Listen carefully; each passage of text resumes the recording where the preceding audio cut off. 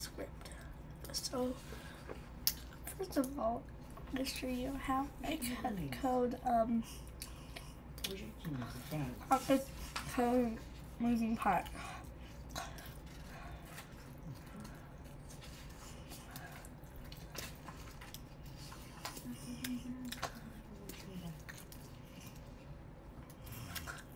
So this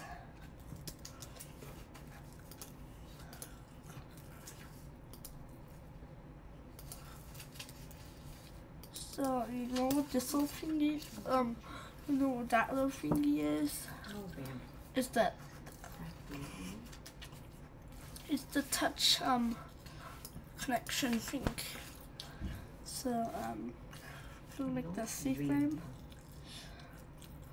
Gonna that is touched. So script dot parent dot C frame equals script. Oops. Script that.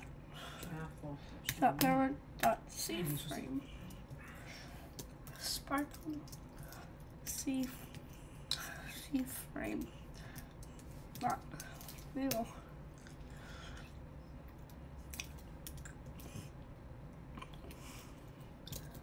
point five. So zero comma zero point three comma zero. This will make the part move. So now if we play the game over here as you can see there's a part over there. You sure be on my name down. This is deep. and if we as you can see now the small location is also moving up. So um let's resize this a little bit and let's remove the weld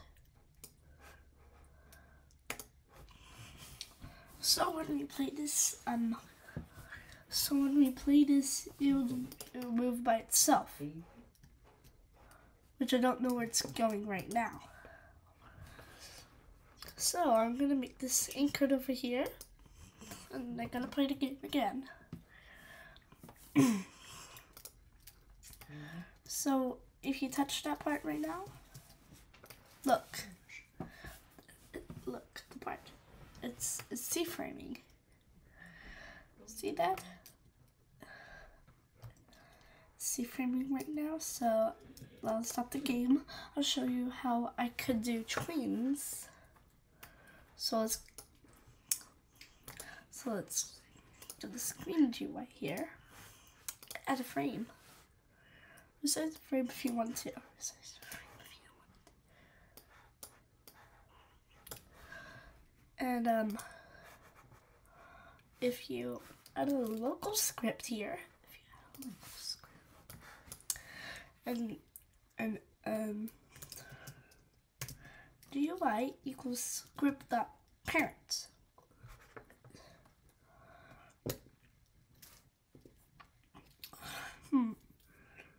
So do this while we do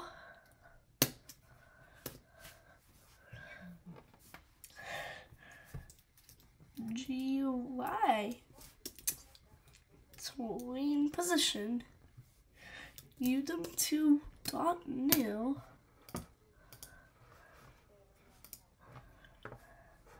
so you can see this position thingy over here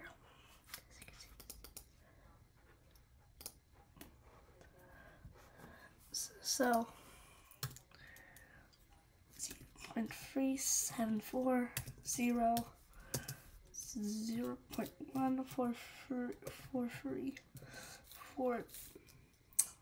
Okay, let's make it move to a different position. So now, if you add a comma here, then add um, then add a quote unquote, then say lowercase out like this, and then if you